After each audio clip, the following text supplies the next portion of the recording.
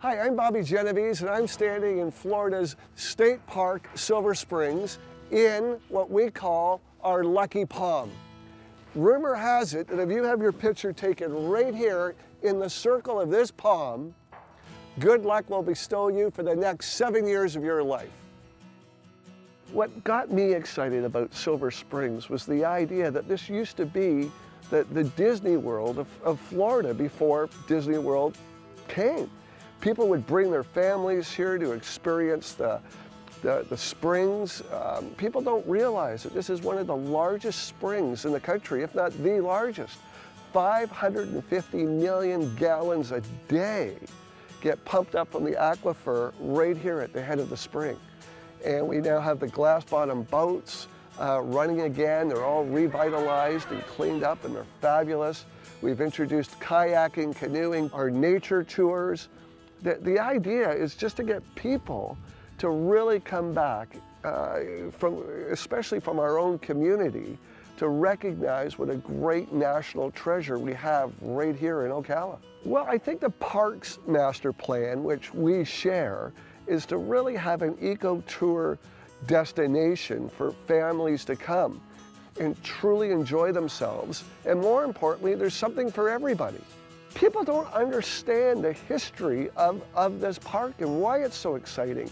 People don't understand that the old Tarzan shows used to be filmed here. And it was shot right here.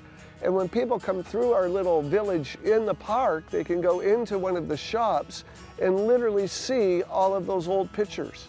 Considering we've only been here for four months um, as the new silver management uh, um, company that has sort of revitalized it all, the steps that we've made are incredible. But is really going to be amazing is over the next six to 12 months what people see.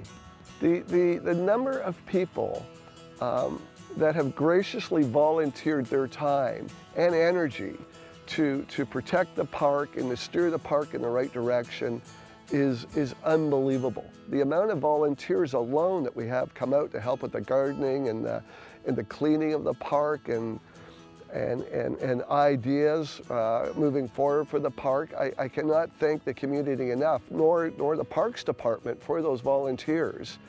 And, and the fact that they're now seeing the park really transformed into something that we all had hoped it would be. Silver Springs resonates with everybody in the state of Florida. Um, I think I, I, the majority of us at one time or another in our childhood had come here.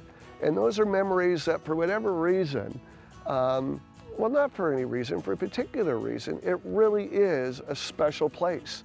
And everybody remembers that first glass bottom boat ride and seeing the springs, seeing the turtles, the fish, all of it.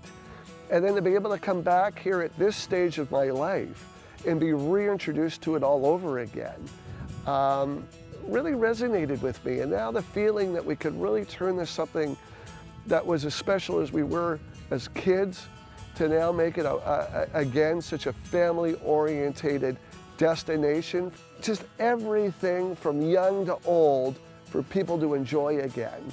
Uh, they're going to be so surprised when they come out and see all of this.